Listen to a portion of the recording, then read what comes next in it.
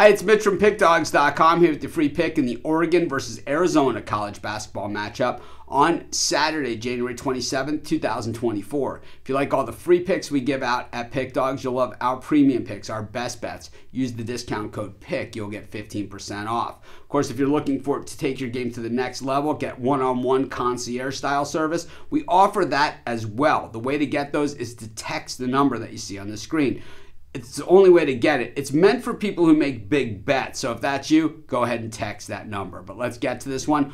Oregon taking on Arizona.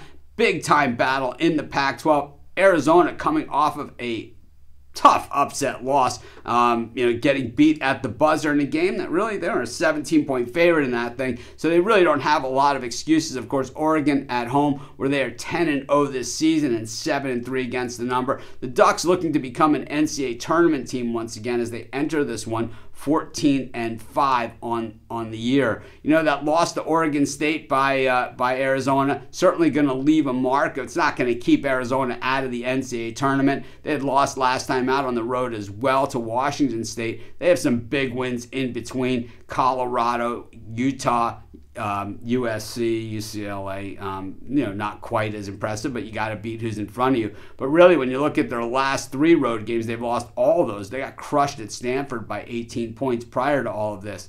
Their last road win was all the way back in in December of last year, beating Cal um, on the road. You know, I think when we look at Oregon here, we know that they have the home home court dominance, and we also know that they have home court dominance against Arizona overall. They have absolutely slaughtered Arizona at home almost every single season. We've seen the Ducks, you know, have their share of ups and downs this season. Those losses at Colorado and at Utah, they certainly leave a mark, but they're not going to kill the Ducks by any stretch of the imagination. Also, the loss at Syracuse back in the middle of December, but that's way in the rearview mirror at this point. And if the Ducks can continue to win, they are going to land in the NCAA tournament. When it comes to covering spreads, they haven't been so prolific in that area at Washington and at Washington State. They covered there, did not cover in. Uh, in, in, in against Cal or at Colorado, but they did cover in that loss at Utah. And then, of course, they pounded Arizona State on Thursday night, just an absolute laugher.